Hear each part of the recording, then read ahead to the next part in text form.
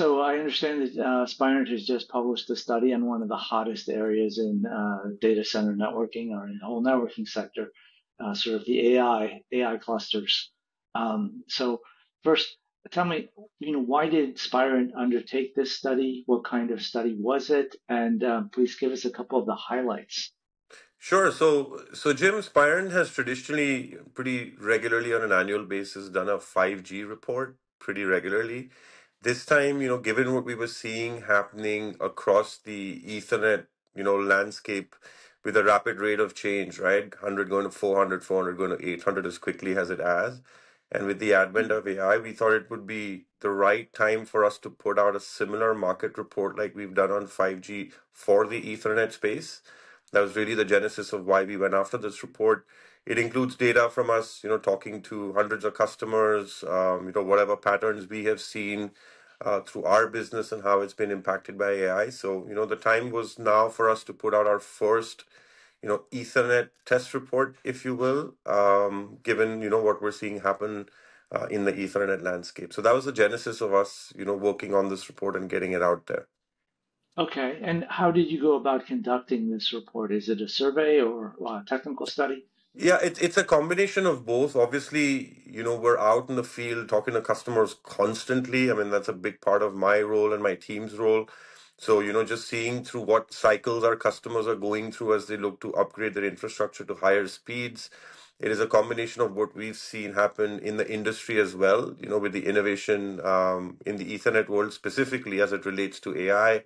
So it's a combination of customer research, technical studies, and also what we've been seeing, you know, in our own business as we, you know, uh, track these trends and you know see how they correlate to our business. So it's a combination of all three.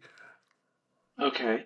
And uh, what would you say would, would be the key takeaways or, or highlights, maybe, you know, the short list? The interesting, so here's here's what we've seen. You know, I've been in the test industry for over 20 years now. I have never seen this level of innovation in the Ethernet space in a very long time. I mean, if you look at the amount of time it took to go from 1 gig to 10 gig, it was probably 10 years. But for it to go from 400 gig to 800 gig has been probably two, two and a half years with 1.6 terabit right around the corner. So this rapid rate of speed changes and innovation and adoption of higher speeds is something that's unprecedented. And you know, we were quite surprised to see how quickly 1.6 terabits coming. You know, a lot of this is clearly driven by AI and you know what we're seeing in the AI data centers uh, and how quickly and rapidly they're being built out. Um, so you know that's that was really the interesting part in all this is how much AI is impacting the Ethernet landscape uh, from a rapid rate of deployment and innovation standpoint. It is the driving force behind a lot of what we're seeing in the industry right now. Yeah, absolutely. I mean, I, I think we, we all saw that at uh, the recent OCP conference, Correct. and then the uh, Ethernet Alliance had an event soon thereafter, and it's kind of the talk of the town, right? Uh, the Correct. 200 gig per lane, going to 400 gig per lane. That's How fast will physics allow this to go in the future? Uh, but then there's al- also other technology evolutions, um, and it, it seems that it brings it in competition, of course, with InfiniBand. hmm Um, but but now we're seeing some of the biggest uh, clusters. I think the XAI Colossus uh, announcement from a, a few days ago, you know, that uses well. Ethernet. And so, Correct. you know, what kind of conclusions did, did Spirent come to on that question of yeah, Ethernet versus InfiniBand going forward? Very good question, uh, Jim. So, you know, InfiniBand's been around a while. Uh, it was a part of Mellanox that, that eventually got acquired by NVIDIA. So it is, for all practical purposes, a proprietary technology. It's very effective in an AI data center right now because it's very low latency and practically lossless, but it doesn't, you know, scale out as well as, um, you know, it should to support these large clusters. So what we're seeing increasingly is more customers are looking over a period of time to look at Ethernet as the the major fabric to connect these AI clusters, right? It scales out a lot well. It's an open standard. It encourages, you know, competition in that switch space. But the fact is, you know, Ethernet is not ideal at the moment uh, to be a ultra low latency lossless fabric. Um, so what we found when talking to a lot of customers that was that people who are looking to deploy Ethernet are doing so, but are running into a host of different issues, you know, with packet loss, latency, out of order packets, uh, because, like I said, Ethernet was not built to handle AI workloads. hmm And the interesting piece is, um, you know, the formation and foundation of the Ultra Ethernet Consortium, right? It is the you know industry heavy hitters for Ethernet, the big hyperscaler, uh, big hyperscaler accounts, Meta, Microsoft, uh, the big Ethernet vendors, Broadcom, Cisco. They've all banded together to form uh, the UEC, which is essentially proposing pretty fundamental and radical changes to Ethernet so it is better suited to be uh, the fabric technology for uh, AI clusters. I mean, there's no question InfiniBand is still the dominant technology, right? But a lot of hmm market analysts will tell you that maybe in the next four or five years, Ethernet will become the dominant technology and InfiniBand will start to gradually decline. Um, so that's that was the real, you know, Right. interesting part of, you know, all the discussions that we've had with customers that, you know, Ethernet is a real choice these days that people are looking at as their fabric technology to connect up these AI clusters. Okay. And as they go about building out these AI clusters, then, you know, how should they be thinking about their testing strategy?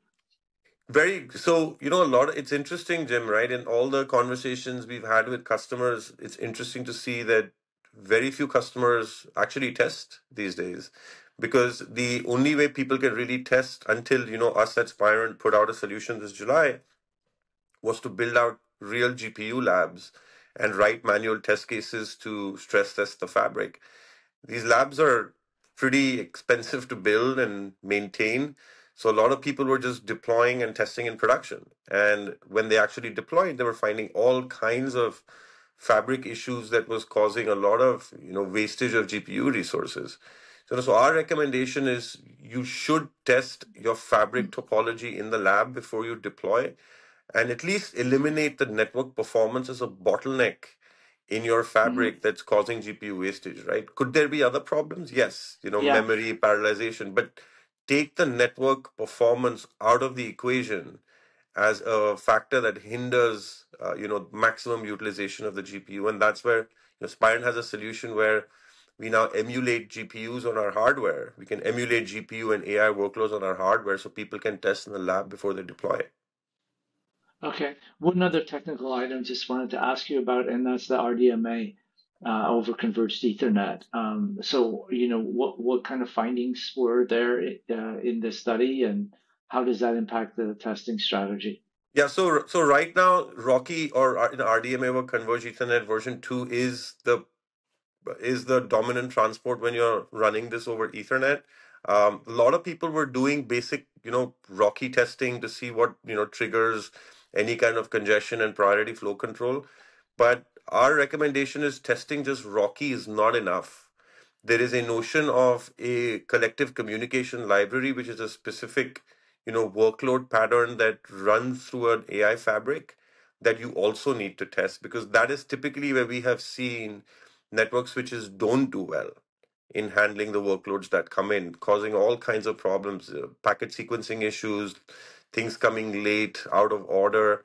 So it's really the communication collective AI workload patterns that stress test, um, you know, the real Ethernet fabric. RoCE is, believe it or not, RoCE is the easy part uh, in all this. You know, most modern switches are optimized to run RoCE, but when you throw these AI workload patterns, traffic patterns in the mix, that's where, you know, the study has shown and our conversations with customers have shown things go sideways. Okay, great. As as we wrap up here, Aniket, um, one one more uh, thing, and that is, you know, why else should folks download this this report? It's available for free as well, I I, I imagine. Yes, it is available for free. You know, we we really want the user base and you know our customers out there to read the report, digest it. Um, you know, it's it talks not just about the AI market, which is what the focus is, but also other parts of the market, right? What's happening in the 5G space, for example, because you know they're not moving to 800 gig anytime soon. They, for instance, you know, the carrier, uh, the the the the core carrier market's now moving up to 400. We've surveyed, you know, enterprise customers to see what they're doing as well. So, you know, we want our customers to read it, you know, get our view, what we've seen. Um, and again, if, you know, somebody has feedback on the report, we'd love to hear that too, right? This is the first time we've put something out, and you know we're we're very keen to get feedback from our customer base and anybody who reads it on you know what uh, they liked about the report and what we can do better when we do this next year again. So um, you know, good insights uh, that we can share across a broad customer base, different viewpoints. That's uh, really the value that we see that the report brings. All right, fantastic. So the report is in the um, link. The link to the report is in the description below, and uh, we hope that uh, Spirent will update us again on this um, in in 2025. So thank thank you for your time today. Thank you so much, Tim. All right, great. So let me stop the recording and make sure it's all uploaded. Was there anything else?